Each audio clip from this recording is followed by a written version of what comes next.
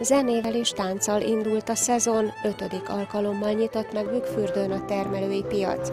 Mézek, savanyúságok, rétesek, valamint többek között kolbászok és sonkák íncsiklandó illata vonza mostantól minden pénteken az érdeklődőket. Háztai, és olyan ízek, amik régiek, sajnos. Boltban nem kapható. Sokan rendszeres vásárlói a piacnak, amely baráti találkozók helyszíne és turisztikai látványosság is. Bükkfürdőn évente 850 ezer éjszakát töltenek a vendégek, átlagosan 3-5 napig maradnak. Az ilyen rendezvények, főleg egy ilyen termelői piac segít abban, hogy minél több élményt kapjon a vendég egy ilyen destinációban, és segíti azt, hogy akár még egy napra pluszba foglaljon, akár abban az évben, akár jövőre.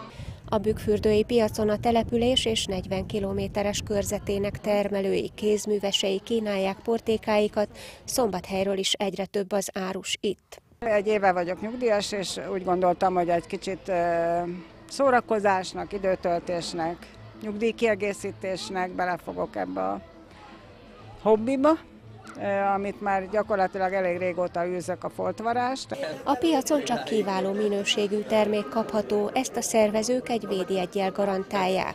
A tavalyi évben létrehoztunk egy márkavédjegyet is, a Bükkfürdői Eszenciát, amivel pont ezt szeretnénk hangsúlyozni mindenki számára, aki ezeket a termékeket megkóstolja, hogy egy állandó minőséget tudnak itt hétről hétre megkapni.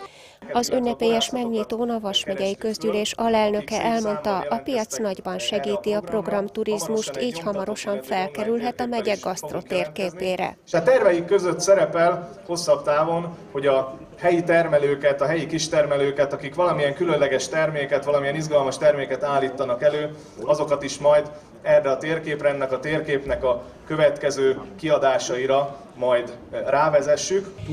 A turisztikai élményt nyújtó piac folyamatosan fejlődik, a hangulatról pedig szombathelyi harmonikás gondoskodik.